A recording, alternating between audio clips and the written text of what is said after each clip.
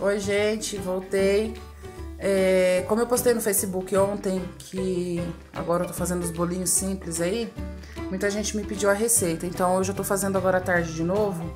E aí eu aproveitei já pra mostrar pra vocês como que faz. Tá? Essa receita que eu vou passar é do bolo de milho, receita da minha tia Célia, que ela tá aqui comigo, meu amor. Então assim, ó, é uma receita, ela rende bastante, tá? Ela rendeu dois bolos desse aqui, ó, tá? Ó, o tamanho, eu vou deixar na descrição depois o tamanho da forma. Ela rendeu dois e agora eu vou fazer mais dois e já vou passar a receita pra vocês. É...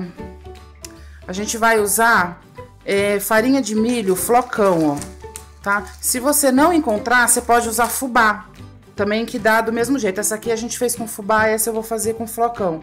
Então a gente vai usar uma lata de milho verde com água, tá? Não joga água fora, senão você não vai conseguir fazer seu bolo.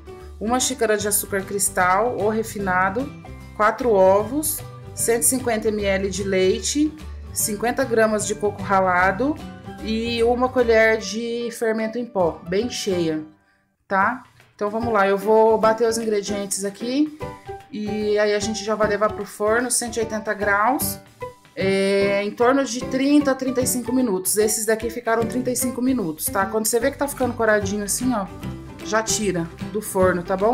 Eu vou bater os ingredientes e já já a gente volta, tá bom? Tchau!